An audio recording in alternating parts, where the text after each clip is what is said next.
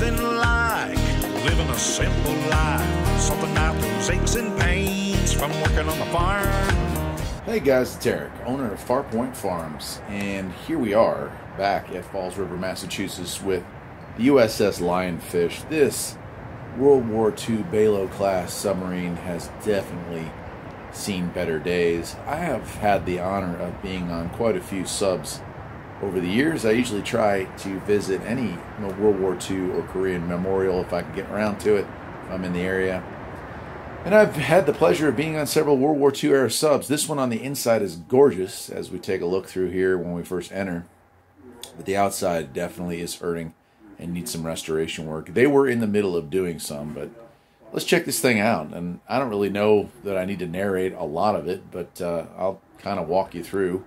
As you come down the stairs in the uh, fore section, you can see the forward torpedo room here. A couple of beauties sitting there waiting to be loaded into the tubes. And uh, area forward of that was off limits, but you can see the launch tubes and, of course, the equipment. There's our back hatch, or front hatch, I guess it would be. There's a peek through the uh, through the gate there, so you can get a better look at the forward tubes here. And there were some signs saying that uh, a lot of the sub guys would actually sleep on top of the torpedoes just to. This was this was their bunkhouse. This is where they worked. This is where they played, and this is where they slept.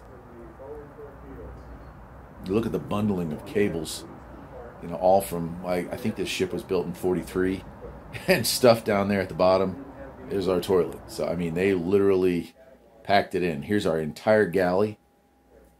Uh, amazing that the chef could get you know 50 or 60 men fed in a room that size. My understanding is they would pack the floors with food, so you were actually starting off your cruises. Those those walkways would be boxes and boxes of food. And as the uh, mission went on, you know, you lowered yourself down, so you kind of had to hunch over in the beginning there. And here's senior staff mess room, and uh, some of the sleeping arrangements for the higher ups. They got their own little fold up desk there. The captain's room here is uh, comically small, but I mean this is this is what they were facing. This was considered luxury for the captain at the time. And of course, I doubt he spent a whole lot of time in there with the operation of the ship probably soaking up most of his time.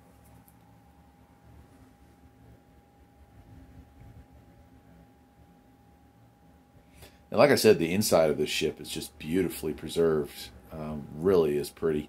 I know there are several subs, uh, Gato class and Balao class subs that uh, they still have functioning engines because you'll see some videos online of them being fired up every once in a while. I don't know that the Lionfish is one of those, but certainly the equipment appears to be in good enough condition that if you wanted to uh, fire things up, you probably could.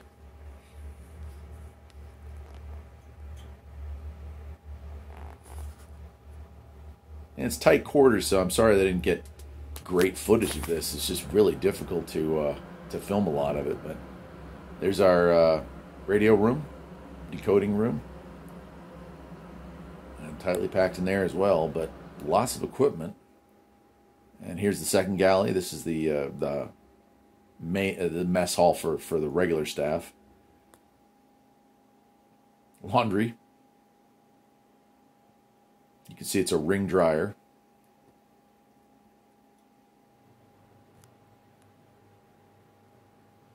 Here we come with the engine room. And, uh, you know, they cut away one of these engines so you could see the uh, crank shaft and the connecting rods and everything in there. But beautifully designed, beautiful engines. And meticulously maintained. You can see that no rust anywhere on this ship on the inside. So here's our main engine room. One, twin engines. And look at the placard still on there some of the many, many gauges and dials that were equipped in this ship.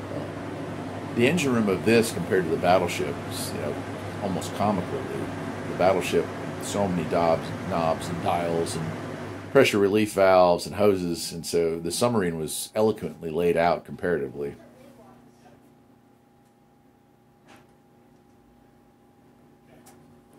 Speed and engine controls here.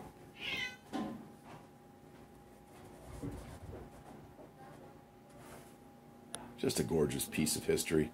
If you've never been on one of these things, um, you really ought to try it out sometime. There's a machine room, so you can make some parts. Obviously, the battleship having the major machine shop in it, but this this one here just probably parts to repair little pieces. And here's a breakdown of one of the subs uh, torpedoes. You know, the U.S. for all the victories we had, our submarine torpedoes in World War II were really not all that great. They were not the most reliable. A lot of them failed to detonate or missed their mark uh, because of operational errors, but I think we figured it out by the end anyway.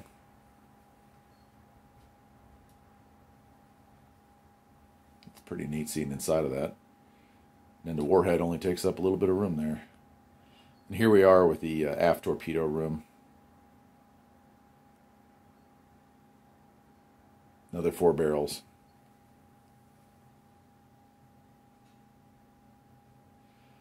Anyway, it's not a terribly long video, but I did want to show it off. The battleship was obviously people go to Battleship Cove to see the battleship, but this thing was this thing was definitely worth taking a look at. Don't judge it by its exterior. I guess that'll do it for today, my friends. Take care.